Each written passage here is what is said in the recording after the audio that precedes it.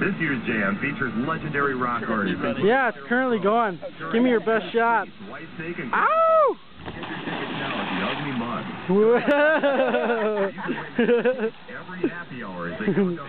Very nice.